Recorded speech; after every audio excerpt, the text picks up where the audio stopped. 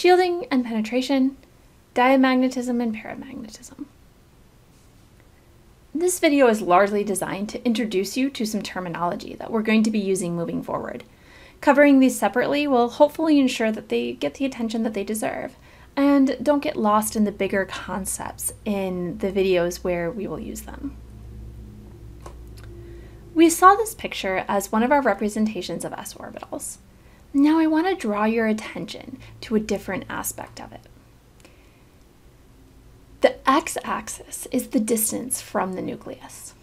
Notice how the 1s orbital has significantly more of its density closer to the nucleus than the 2s orbital.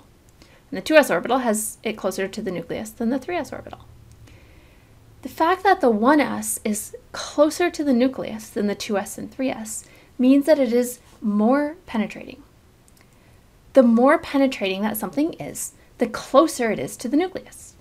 Hopefully this squares with your understanding of the word. If we use a tool to penetrate the surface of the earth, the deeper that tool goes, the more penetrating it is. Our second term of the day is shielding. Think about how we use this word in our current understanding of the word shield.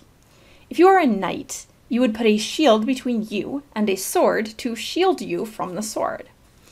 If a pan is very hot, you might use a hot pad to shield you from the heat of the pan. Each time you're putting something between you and the thing that you're protecting yourself from. Shielding, when we discuss orbitals, is the same basic idea. Because the nucleus is positively charged, the electrons are attracted to the nucleus. However, the more penetrating orbitals, or the orbitals which are closer to the nucleus, will shield the outside orbitals, since those inside orbitals are also negatively charged.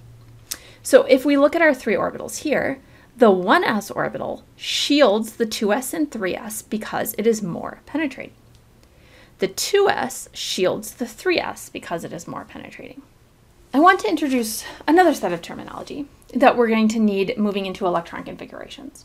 You'll learn to do the configurations in another video, um, but I just find that if we talk about this in that video, which is very long, it gets a little bit lost. Atoms that have unpaired electrons have different properties than those which have paired electrons, all paired electrons, right? So even just one unpaired electron gives it these extra properties. We define those with unpaired electrons as paramagnetic. And yes, that's an annoying name. It's it, the pair and the para are different, right? Like the spelling's different. You can see this is P A I R, this is P A R A. They come from different things. Um, but yeah, you have to remember that. So those with only paired electrons, so every single electron has a pair, are called diamagnetic. Now, I want you to notice something, and I picked carbon very specifically as my example here, is that you can't tell whether something is paramagnetic or diamagnetic just based on whether it has an even or odd number of electrons, okay? Both carbon and neon have an even number of electrons, right? including in their valence shell. Carbon has four electrons in its valence shell, it has six electrons total.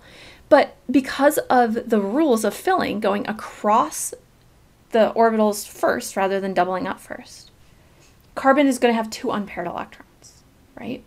And so you have to always make sure when you're deciding whether something is paramagnetic or diamagnetic that you actually look at how the electrons are configured and arranged within the atom.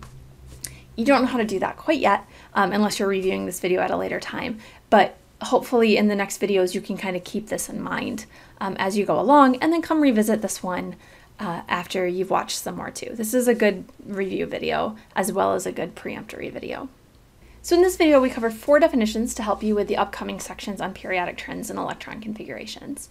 Uh, again, just make a mental note to come back and revisit this video again after. You really need this both before and after, and to make sure that you remember this terminology when you're doing your other problems.